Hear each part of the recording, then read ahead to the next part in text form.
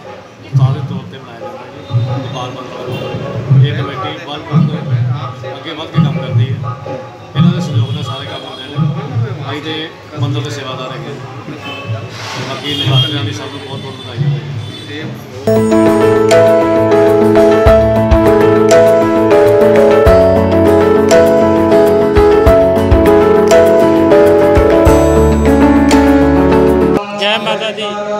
ਅੱਜ ਗੋਪਾਲ ਮੰਦਿਰ ਵਿੱਚ ਤੀਸਰਾ ਨਰਾਤਾ ਦਾ ਬੜਾ ਧੂਮਧਾਮ ਨਾਲ ਮਨਾਇਆ ਜਾ ਰਿਹਾ। ਇਹਦੇ ਵਿੱਚ ਵਿੱਚ ਸਚਦੇਵਾ ਜੀ, ਮਹਾਮਾਈ ਦਾ ਗੁਣਗਾਨ ਕਰਨਗੇ ਤੇ ਬਾਕੀ ਬਹੁਤ ਸੰਗਤ ਵਿੱਚ ਉਤਸ਼ਾਹ ਹੈ। ਬਾਰੇ ਸਾਰੇ ਆਪਣੇ ਫੈਮਿਲੀ ਸਮੇਤ ਮੰਦਿਰ ਵਿੱਚ ਆ ਰਹੇ ਨੇ ਤੇ ਮਹਾਮਾਈ ਦਾ ਆਸ਼ੀਰਵਾਦ ਪ੍ਰਾਪਤ ਕਰ ਰਹੇ ਨੇ।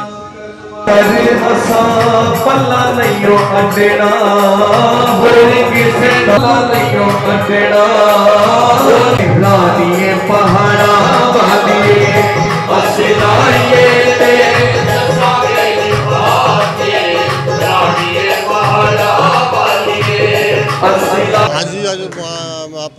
ਆਪਣਾ ਦਾ ਤੀਸਰਾ ਨਰਾਤਾ ਵੇ ਅੱਜ ਸਾਡੇ ਮੰਦਰ ਦੇ ਵਿੱਚ ਜਗਰਾਤੇ ਦਾ ਆਯੋਜਨ ਕੀਤਾ ਗਿਆ ਵੇ, ਜਿਹੜਾ ਕਿ 7 ਦਿਨ ਵੀ ਚੱਲਣਾ ਵੇ, ਤੇ ਮੈਂ ਇਹ ਕਹਾਂਗਾ ਕਿ ਸਾਰੇ ਤੋਂ ਹੁਮ ਆ ਕੇ ਇੱਥੇ ਪੁੱਜੋ ਔਰ ਆ ਕੇ ਮਾਤਾ ਰਾਣੀ ਦੇ ਦਰਸ਼ਨ ਕਰੋ ਔਰ ਜਗਰਾਤਾ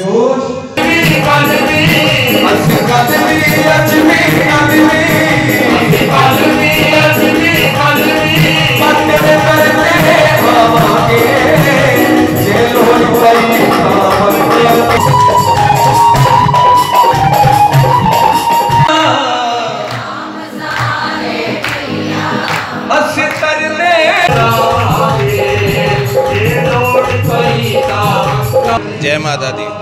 ਨਵਰਾਤਰਿਆਂ ਦੇ ਉਪਲਕਸ਼ ਵਿੱਚ ਅੱਜ ਮਹਾਮਾਈ ਜੀ ਦਾ ਤੀਸਰਾ ਨਵਰਾਤਰਾ ਸ਼੍ਰੀ ਗੋਪਾਲ ਮੰਦਿਰ ਵਿੱਚ ਸ਼੍ਰੀ ਗੋਪਾਲ ਮੰਦਿਰ ਪ੍ਰਬੰਧਕ ਕਮੇਟੀ ਵੱਲੋਂ ਬੜੇ ਧੂਮਧਾਮ ਨਾਲ ਮਨਾਇਆ ਜਾ ਰਿਹਾ।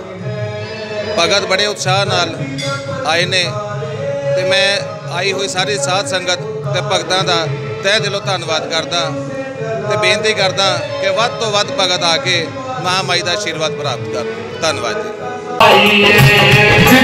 जितनी भी माफी थी तेरे सकता है जनता की सेवा करे कोशिश करे डॉक्टर कोई भी बन सकता है पढ़ लिख के डीएस मिल जाता है मेरे भाई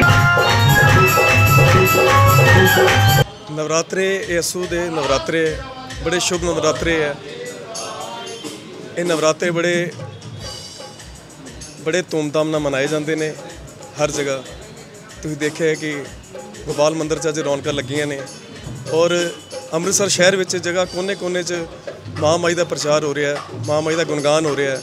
ਅੱਜ ਅਸੀਂ ਗੁਣਗਾਨ ਕਰਨ ਵਾਸਤੇ ਗੋਪਾਲ ਮੰਦਿਰ 'ਚ ਆਏ ਹਾਂ। ਬੜੇ ਖੁਸ਼ਨਸੀਬ ਹਾਂ ਕਿ ਅੱਜ ਮਾਂ ਦਾ ਤੀਸਰਾ ਨਵਰਾਤਰਾ ਦੀ ਹਾਜ਼ਰੀ ਮਾਂ ਦੇ ਚਰਨਾਂ 'ਚ ਕਬੂਲ ਹੋਵੇ। ਮਾਂ ਮਾਂ ਭਗਵਤੀ ਸਭ ਦੀ ਮਨੋਕਾਮਨਾ ਪੂਰਨ ਕਰੇ। ਜੈ ਮਾਤਾ ਦੀ।